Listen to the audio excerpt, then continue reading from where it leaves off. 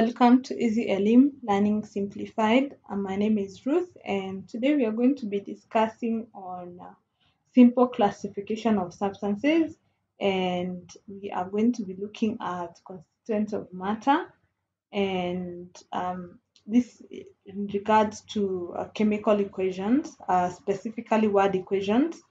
Uh, later on, in Form 2, we are going to discuss on uh, converting these word equations into uh, chemical formulas and um, chemical equations.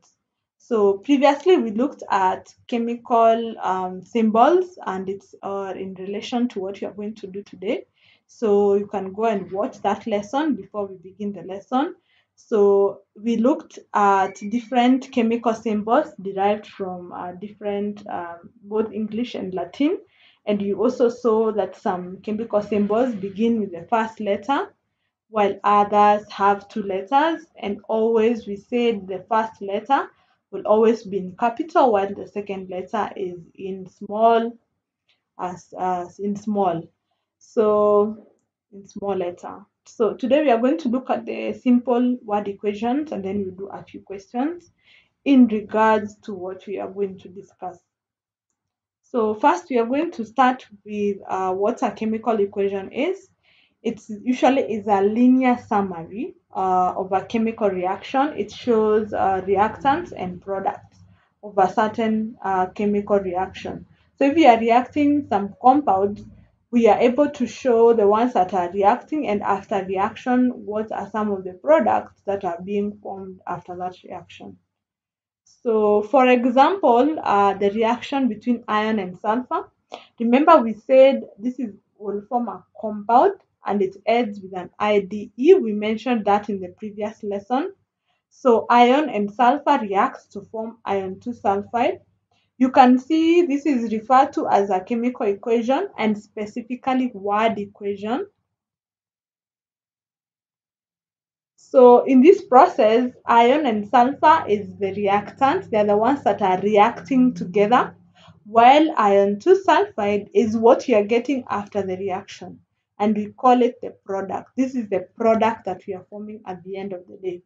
So you can see some of the things that you notice in this chemical equation is the first thing you notice is that the reactants are usually on the left side and then the reactants are usually, or the products, sorry, are usually on the right side. In between the reactants and the product, we have an arrow. This arrow helps us to see that the reactants are going and reacting and forming the product. So you can see an arrow in this reaction. So this is what we refer to as word equation. But sometimes you can be having more than one reactant. So if you have more than one reactant, what you notice, we combine this reactant with a plus sign. So the plus sign, it means it reacts with, it also means and. We are reacting to iron and sulfur, or iron reacts with sulfur. And then the arrow shows this is what it forms, like iron and, and, and sulfur forms iron 2 sulfide. So that is the function of the arrow. And then the arrows are also unique in chemistry. When you write a full arrow like this arrow, you notice it usually means that the reaction are moving forward and they are permanent. They cannot go back like we said of the chemical changes that the reactions are reversible. If you see one arrow in the in a chemical equation, it tells you that reaction is permanent it's one it moves in one direction. We cannot reverse that equation or we cannot reverse, reverse that uh, chemical reaction. If you see two arrows in this case it means that this uh, this reaction can move forward and backwards. It means it can be reversed. Like we were discussing on the zinc oxide and we said zinc oxide which is white in color can be reversed to form zinc oxide to form zinc oxide, which was yellow when it's heated. So it can be reversed back to form zinc oxide, which is white, if you cool it down. So this was just an example. Go back to the lesson and check that out. We had discussed it in the chemical changes. So this is how now an equation looks like. So it is important for you to note the arrows and do not confuse the arrows. We do have also other different types of arrows. We have arrows that look like this, and this one usually represent an equilibrium reaction. So this reaction is moving forward and backwards at the same time. So we are forming products and reactants at the same time. Although at this level, you do not need to discuss more on the equilibrium, you're going to learn about it later on in Form 3 and Form 4. So that's it on the, on the formation of chemical compounds. Next, we are going to look at some of examples of this chemical equation.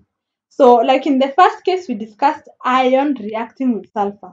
So it is for you to know the product that is going to be formed. And we talked about this product.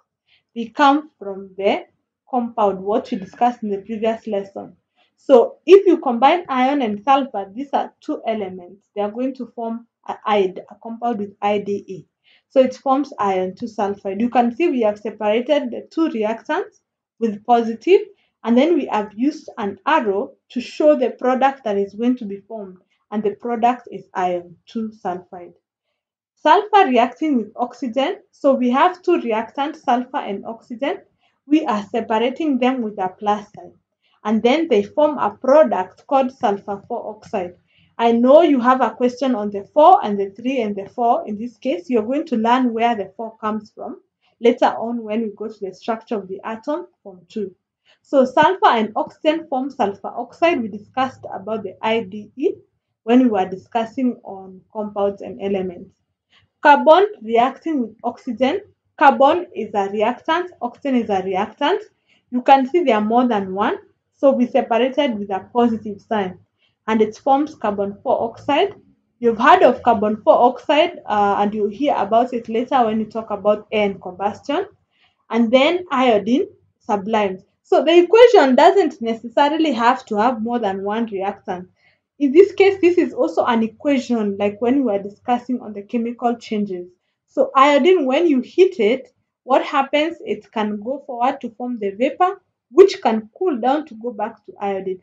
We said when you have two arrows, it means that the reaction is reversible. You can reverse that reaction. So this is also an equation. Equations come in different ways and different forms, different reactants and different products.